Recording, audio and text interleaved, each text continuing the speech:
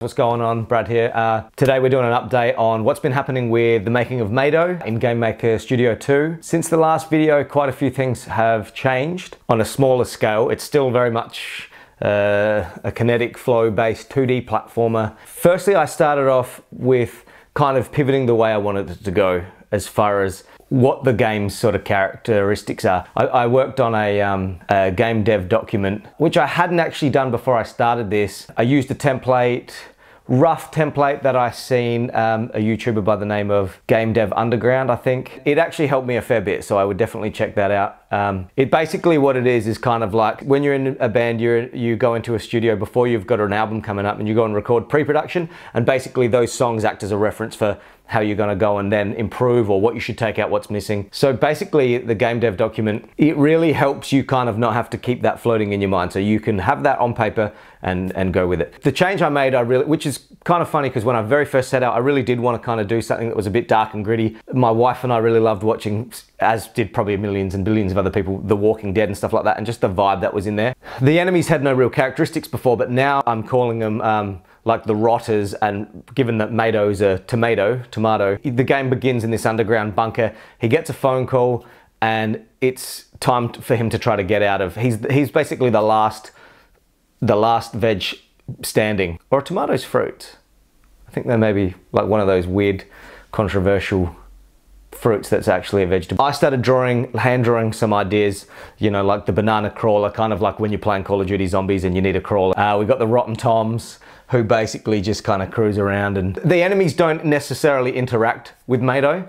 I had them chasing Maydo, but it felt like they were too switched on. I kind of wanted them to be really dulled down. I wanted the game to feel a little bit more lonely and somber. So that was the angle that I went with. I also wanted to put verticality into the levels on a more consistent scale rather than just have vertical levels. First I put a parachute in so we could parachute down, but I was like, man, I really want him to also be able to go back up. I ended up giving him a jetpack and I had icons that you could get and then he would get the jetpack, but then I kind of really, I kind of missed it and I kind of wanted to keep him in all the time. So I, then I spent a little bit of time um, making sure that the jetpack didn't feel overpowered. You can kind of fly through a lot of the level, early levels so far, but I've really made it that it's slower. It can be a little bit harder if you hit a wall or a roof. The way the power cuts out straight away. So you can't just kind of fang around until you hit a wall because if there is uh, like a death trigger below, you're gone. Speaking of that, I've also brought in systems going on like there's a level timer lives now in the game so you can increase lives and if you die you decrease lives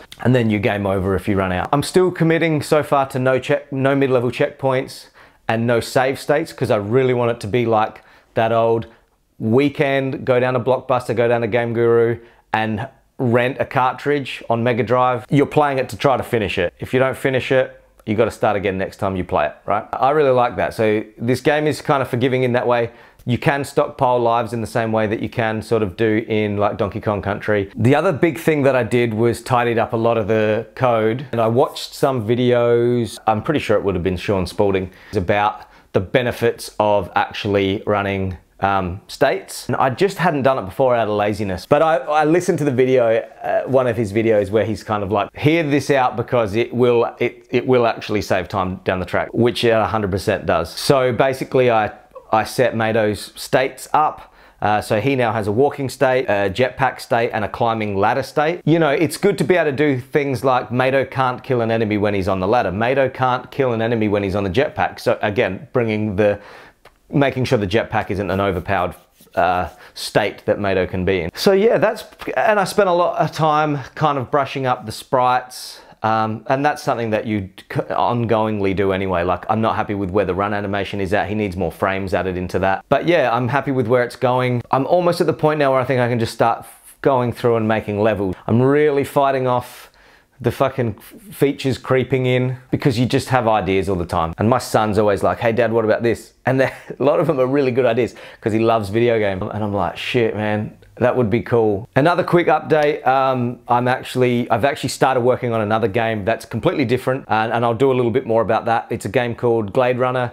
It's set like with the aesthetic to like an 8-bit system, like the Sega Master System style. It's actually kind of drawing influence from games like Action Fighter. You are like this unknown protagonist that lives in the Florida Everglades area and he's like running packages and the cops are all over him and you're just belting through on an airboat that's that's really drifty. I'm actually trying out a lot of the built-in functionalities of GameMaker Studio. I know that this is, I wouldn't say frowned upon, but it's recommended not to do this because of the limitations. Man, I'm straight up straight away hard up against limitations like using the built-in speed variable rather than building my own speed uh, system. But there are some perks for a top-down like image angle. The image angle and the add motion and things like that. The only where I'm the only place I'm really find it limiting at the moment is trying to program the enemy AI in properly to give them acceleration rather than just getting straight up to speed. I'm not worried about it because I will get it. Also with this, I've built in a tile collision system, whereas Maydo is, is, an object collision system, and that's got its whole own little bits and pieces. But the one thing I did do with this is I straight away started up building uh, storing scripts and building state. Going through the process of starting a new project, it's been really good to go back in and actually structure it in advance, knowing the pitfalls of letting it all blow out and get messy. But I'll talk more about Glade Runner in another in another video because I do really want to talk about that because it's completely different to Maydo. It's going to be probably come out before Maydo because it's a more simple game that we want to put out and face whatever the hurdles are of actually putting out um, games entail because there will be hurdles. As I mentioned for our day job, we make ads, we make videos. Putting an ad on TV is a lot more complicated than anyone would ever think. I have released an app years ago, but I had help to do it. This one we want to do in-house, do ourselves once the game's been developed. Definitely on Steam, itch, Android and iOS for Glade Runner. We're not sure about Maydo yet. But anyway, I'll keep updating. Thanks if you've watched um, and you've joining along on the journey, I appreciate it. Um, but regardless, making video games has been an incredible creative outlet for me and I really enjoy doing it. Hopefully these games will be out sort of early next year and